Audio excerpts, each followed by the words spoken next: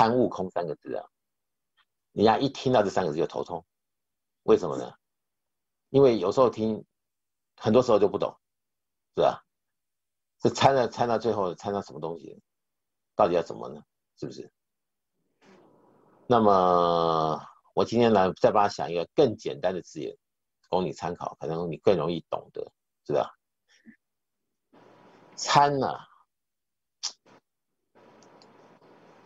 就是我们举个例子哦，你比如说今天早上起来，你。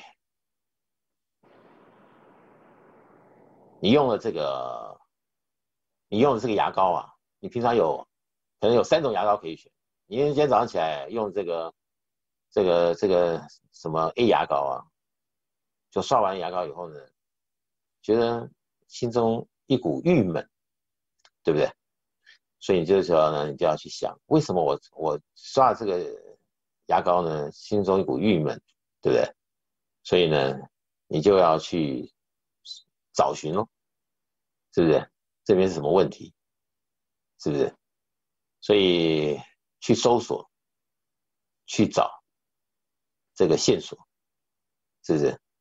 看怎么样的切入点或者深入点啊，各方面的可能的一个下手，能够让你有着力点的地方，去找到线索，是不是？那你可能从。这个东边找不见得找得到，所以就换成西边找，西边也不一定找得到，是不是？所以到底是哪一边找得到呢？是不是？所以你就开始搜索啊，这边看看，那边看看，是不是？在钻研着。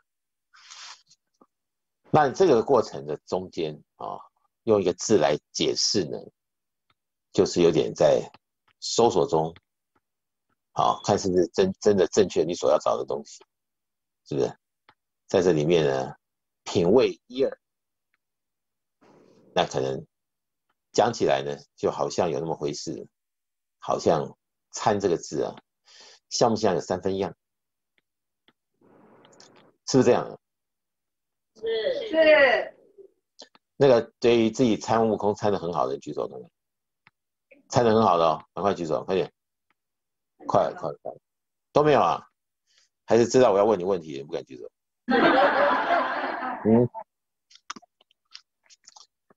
老板看到你今天看见进进到公司门口，就把你臭骂一顿，所以你开始去参啊？我为什么见老板看到我就要骂我？是不是？参什么？搜索啊？是不是？干嘛今天那么衰？看到我就骂，是不是？啊。找到了，说，bingo，找到了，啊，所以你就要去想，他为什么要骂我，对不对？我今天进来啊，九点钟上班，我九点零一分上来进来，是不是？他就这样子骂我，好，是不是因为我我做的不对，这一分钟的原因？引起他这么样的生气，是不是？然后你就开始去，好，领悟啊，这里面到底有没有什么样的痕迹啊？